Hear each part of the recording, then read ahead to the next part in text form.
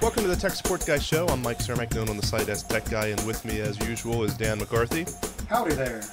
And today we're doing something a little bit different. Instead of our usual tech news and other things we talk about on the podcast, we're going to talk about a very specific problem that people are having and landing at our site to try and solve. That problem is the print spooler service is not running. This is uh, one of the most searched threads within our forums. The, the thread was started back in May 22nd of 2007, and just in the past month, we've received 6,286 uh, views on this thread. So the specific problem is that uh, it comes up with a message saying the operation could not be completed, the print spooler service is not running. And oftentimes if you go into your printers area or your device and printers, depending on which version of Windows you have, you'll get a blank screen or sometimes an error message. Uh, so I've set up this problem on my computer just to demonstrate it a little bit. So if I go to the Start button and go to Device and Printers, again, this is Windows 7, so if you have Windows XP, it'll look a little different, but this will still work. Uh, I get some of my devices, but I don't get printers. And if I try to add printer, I get this error message. And this probably looks familiar to you if you're watching this video.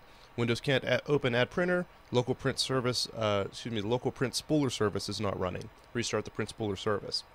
And if you're not familiar enough with the print spooler service to know how to even try and start doing that, it's relatively easy. If you go to Start, you can start typing it in here if you use Windows 7. If you're using Windows XP, you can go to Start and then hit Run and then you're just going to type in services.msc. So that brings up services, and these are all the background services that are running on your computer in any version of Windows. And uh, it includes all sorts of important things, but the one we're interested in right now is Print Spooler. So if I scroll down here a bit and find Print Spooler, you see it doesn't say anything in this column where some of the others say started. It should. That should always be running and should say started. So you can right click on Print Spooler and hit start, and that'll try to start it, and if you're really lucky, that'll fix it. In my case, just for demonstration here, that doesn't fix it. It gives you a message saying print spooler service couldn't be started, dependency uh, does not exist or has been marked for deletion. So you can actually look in this and see what services are uh, dependency of print spooler. If you double click on it, go to dependencies, it'll show you that. If you're feeling really geeky, you can check each of these dependencies and make sure they're running. For example, DCOM, RPC. So if I go back to this list, I can then scroll up here to DCOM and see it is running and I can look for RPC and make sure that it is running. Generally you're going to find that those are okay, but if you really get stuck you can try that. Uh, what is usually the case, we see this problem most often with people who have or have once had a Lexmark printer. So if you have a Lexmark printer sitting there with you, or you once did, that's probably the cause of your problem. There's a service called Lex, uh, let me bring it up on the screen here. It's called Lex BCE Server. And on some computers, it's just called Lexmark Service or Lexmark Printer Service, but usually it's listed as Lex BCE Server. And that'll be in your list here with services. And check to see if that's running. If it's not, you can try and start it from here the same way, just right click and hit start, and sometimes that'll fix the problem. Uh, the other thing you can do is you can edit the registry and tell it that you no longer need to run that Lexmark server. And to do that, you're going to go down to Start. Again, if you're running Windows XP, you're going to hit Run. In my case, I'm just going to type right here. I'm going to type in regedit. And you want to be a little careful when you're editing the registry because you can really mess up your computer if you're not careful. But there's a specific place you need to look here to get rid of that Lexmark service.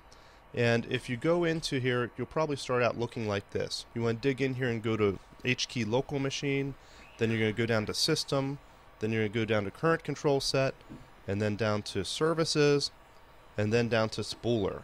Let me scroll down here a bit. It's deep in there, and don't worry, we're going to have it in the notes here for you as well. Alright, guys. There's Spooler. And in Spooler here, over on the side, is Dependent Services. Depend on service. So if I double click on that, you can see it's dependent on this RPC service, the HTTP service, and oh no, the Lex BCE server. So literally all you have to do is highlight that and make sure you're only getting that Lexmark service and hit backspace or delete and that'll get rid of it for you. Now you can hit OK, close out of registry editor, restart your computer, and that'll fix the problem for most people. Usually if you've had a Lexmark printer where you currently do, just doing that and restarting your computer will fix it. Now we've had a couple of people who found another solution which is a little unusual and I think this solution is specific to 32-bit computers but I'm not sure so you can give it a shot if that doesn't do the trick for you. If you click on your start button and right click on computer or my computer and go to properties you can go to Advanced System Settings. If you're using Windows XP, this might look a little different, but you'll have a tab up here for Advanced. And then under Performance, you can hit Settings and go to Data Execution Prevention. And what this is supposed to do is prevent bad programs from running on your computer. And what you can do is make an exception here. You can say turn on this data uh, execution protection, uh, prevention, on all programs except for those that I select here. So it's going to have an exception for the particular programs you put in this list that it's not going to check it for data execution prevention.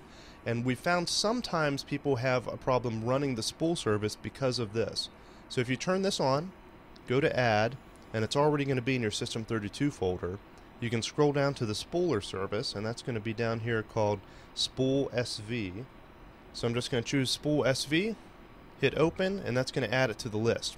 In my case, it won't add it. I'm running 64-bit Windows, and that's a 64-bit version of the spooler, so it won't help in my case. But you can give that a shot if the uh, Lexmark service doesn't help you. So try that, uh, see what that does. Other people have suggested just reinstalling the printer, but depending on the exact version of this error you're getting, you may not have that opportunity. Even if you disconnect your printer, you still may not be able to hit the Add Printer button to reinstall it because of this error. So you want to, you probably have to solve the problem using one of these other uh, methods first. But if all else fails, you can give that a whirl and try.